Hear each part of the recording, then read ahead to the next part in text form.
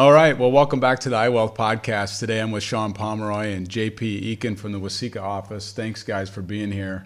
How to retire early. So I had this question recently, like walking down the street and somebody stopped me and they're like, How do you retire early, Brad? And it made me pause. Like, there's so many different answers that can kind of come to that. But JP, let's the, real quickly, what popped into your head when I said, and then let's go to Sean. First thing that popped in my head is is, and I hear it from from my friends, right? Um, is they don't have a true understanding of how beneficial it is to begin saving when you're young. Mm. They don't understand how compound interest throughout your lifetime is eventually going to turn into a large chunk of money down the road and then at least allow you the financial freedom to possibly um, make the choice to retire early. I think a lot of it gets to, you know, we think it's so far away and then all of a sudden we're 50 and we're trying to play catch up. Right. Is is what we see. Yeah, yeah. So start early. Yeah. Sean, what popped in your head? So how do you retire early? Like if someone stopped you on the street, what would you say? I've had I've had young clients ask me before, and I've said, "Well, what's your retirement look like?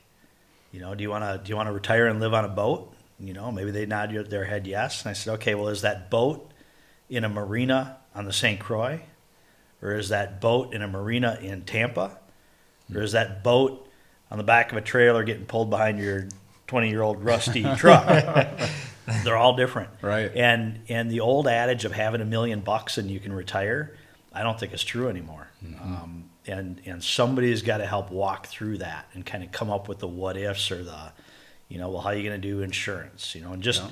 it may not be picking it apart that you can't do it. Yeah. It's going into it eyes wide open. Yeah, you know, my my first thought was why?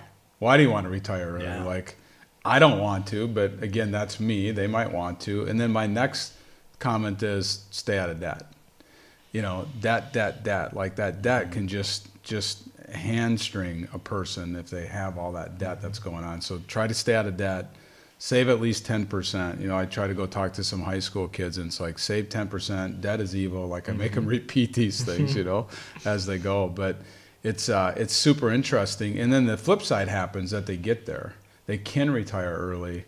And then you're like, now what? And well, how does that conversation go, Sean? Like, have you had that conversation where somebody's like, well, wait a minute, maybe I don't want to retire? Yeah, and I, I think for a lot of people, the maybe they're trying to retire because they don't like what they're doing. They hate their job, they hate their boss, they hate whatever it is. And when they understand that they might have that freedom, they've got the money, they've got the resources, they had the plan. By the way, they saved in a Roth instead of saving it all pre-tax. Mm-hmm. So they've got the liquidity at it, um, and all of a sudden, they're the they're the one in charge. Yeah. They can make the decision if they're going into work the next day or not. Yeah. A lot of them stay working. Yeah. Mm-hmm. Yeah. JP, what's super interesting is the three of us, none of us said pick the magic stock, right. buy the great ETF, find the world class money manager. Mm-hmm. Like, why didn't we say that? Because I mean, I mean, I think that the saving aspect of it is is more important, and it's such a it's such a one and one off that you're going to find that best ETF and best stock or best money manager. And bottom line is is you could find that and you could still make some of the poorest decisions possible and ruin all of those gains that you accomplish if you don't do the correct planning on it. Like to Sean's point on how are you going to pay for insurance? Is it Roth or pre-tax? You know, if you want to retire early, it's pretty hard if all of a sudden everything that you have is in a pre-tax account. Right. Costing you ten percent extra and, and taxes. And taxes. Yeah, yeah. It depends on what state you're retired to too. Yeah. You know? Yeah. Yeah. It's super interesting.